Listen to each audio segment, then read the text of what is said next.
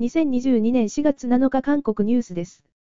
2016年12月2日の朝、あるラジオ時事プログラムのテーマはパク、軍兵大統領の服だった。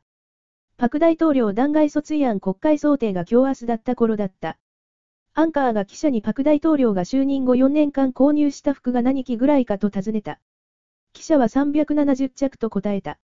就任の最初の年である2013年に買った服が122着という報道と67罰という報道があった。その平均である94着で見ればいいという。1年94着ずつ4年をかければ、370罰ということだ。アンカーが衣装価格の総額はどのくらいかと尋ねた。記者はパク大統領が服を買った江南衣装室周辺の女性スーツが最低45万ウォンから300万ウォンだ。1着平均200万ウォンで、370着であれば、4年の間の衣装費が7億4000万ウォンだった。誤差が2倍も私は報道を平均出し、さらにジレ推測で2回乗算して7億4000万ウォンという具体的な数値を引き出した。単純無知な計算法を堂々と突き刺すか完成に舌を突き出すことになる。この放送が終わってから数時間で民主党のスポークスマン室はパククネ大統領の副値7億4000万ウォン、賄賂なのか予算なのかを明らかにするというコメントを出した。以後7億4000万ウォンはパククネ大統領を攻撃する公認数値に位置づけた。パク大統領の衣装価格施費は常連衣装室 CCTV 映像から始まった。チェ、スンシル氏がパク大統領の衣装代金を5万ウォンで計算する場面だった。野党の人々は、少なくとも数十万ウォンを現金で取引したならば賄賂ではないかと言った。その時と似た場面が最近平行理論のように展開されている。主人公だけがパク、軍兵からキム、ジョンスクに置き換えられた。ネチズン捜査隊はキム夫人が公式行事で新たに披露した衣装178着を見つけた。パク、軍兵副大計算法を借りれば1着あたり200万ウォンずつ3億6千万ウォンだ。金女子が重要無形文化財職人に官服を700万ウォン分購入した後、同行した補佐官が5万ウォン券で支払ったという証言も出た。その補佐官は、6年前、パク大統領の副値が賄賂なのか予算なのかを明らかにするように固めた民主党副大変の出身だ。大統領府の広報担当者は、服の価格を現金で出したのは何が問題なのか。職人に対する礼と言った。巨額を現金で受けていい点は売上規模の隠蔽しかない。大統領夫人の黒金疑惑を不幸と国宝級職人を脱税容疑者とみなしたわけだ。い、泣く四民主党のガン代表は、金正祝夫人の医療価格論議について大統領配偶者の公的役割に対する理解不足を表す民望みするほどの低級な政治だと述べた。国を代表する大統領夫人の衣服が国格を左右するという意味だろう。キム夫人の活発な外部活動はよく知られている。金女子は2年目のコロナ時代の中でも海外巡訪28回に45カ国を立ち寄った。歴代大統領夫人のうち、回数では李明宏大統領夫人キム、ユンオク夫人と共同1位、訪問国数字では単独1位という。キム夫人はなかなか時間をかけていくのが難しい海外観光スポットをほとんど摂取した。大統領府は誰も聞かなかったが、訪問国の要請のためだと注釈をつけた。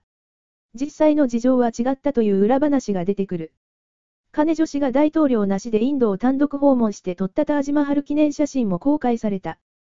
大統領夫人の名称地探訪が国威信用に恩恵になった限り、大統領本人の外交活動には及ばないだろう。民主党がパククネ、パク、軍兵、大統領副大を施否するコメントを出したとき、党内部で民望みするほど低級な政治だと自制させたという言葉は聞いた記憶さえない。6年前、断崖のろうそくが燃えた時、一方では不気味ながらも、私たちの政治がもう少し進んでいるという期待もあった。野党は大統領のファッションとヘアスタイルまで難易度が高かった。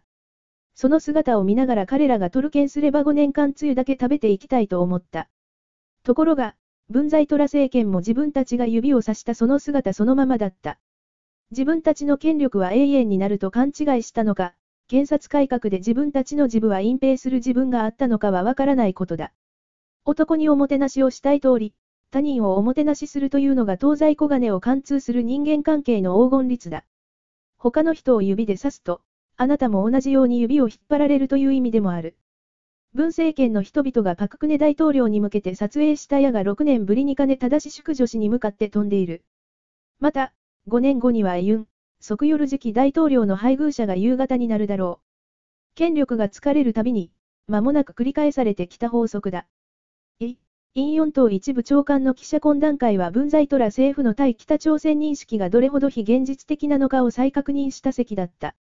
李長官は朝鮮半島の平和プロセスに対して一部で相対的失敗と断定するのは正当でも合理でもないとし、引き続き私たちが歩かなければならない道とプロセスだと述べた。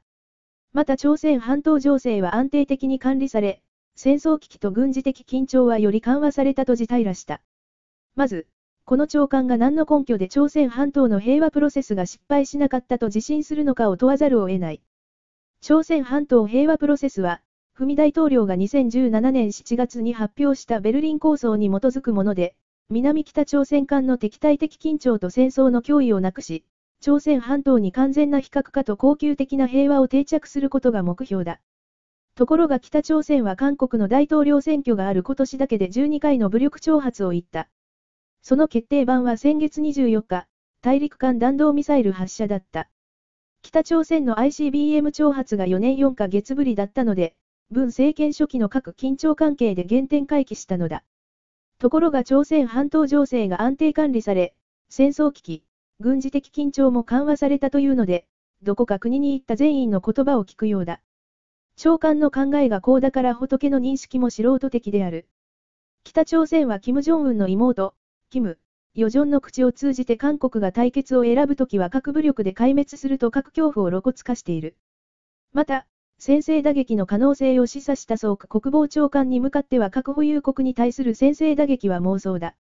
本当それこそ狂った奴の客機とも非難した。このような状況で統一部が出した立場は厳重に認識中だということだ。核攻撃と軍隊壊滅、全滅が取り上げられているが、ただよくわかるという趣旨の真っ只中でない外交的操作をもってつけているのが大韓民国の統一部だ。現政府の対北政策にはこれ以上期待することはない。キム、ヨジョンがゆでた牛の塔と嘲笑しても、ミサイルをポンポン撃つもさつまいものように沈黙した文政府の5年の対北クックは北に核開発時間だけ稼いだ安保祭の時間だった。朝鮮半島平和プロセスの革新過程で終戦宣言にかかったのも結局、北朝鮮の偽の平和賞に驚いたことが判明した。李長官は新しい政府に対する助言だとし、保守政府に対する予想から抜け出して、逆発想で平和のために政策を展開してほしいと述べた。核の脅威を受けている国の長官がこのような太ったような恩を並べている。酒瓶ラベルの細かい規制のリストは規制共和国の実情を示すのに十分だ。8つの政府省庁がそれぞれ行使する規制を見れば、主流製造、販売事業者でなくとも息が詰まる地境だ。さらに、食品医薬品安全所と産業通商資源部は2つずつ複数の規制を加えており、ラベルに表示されたものだけになんと10個に達する。食薬所はカロリー表示を義務化し、環境部はリサイクル用意性等級表示規定を新設し、主流規制省に新たに名前を挙げた。公正取引委員会は返品、交換事項を、女性家族部は青少年保護法条項をこの小さなラベルに入れるよう要求する。行政機関でもない国会まで、視覚障害者のための展示表示の義務化を検討中だと、公務員の官庁室には終わりがないという業界の仮訴が出ている。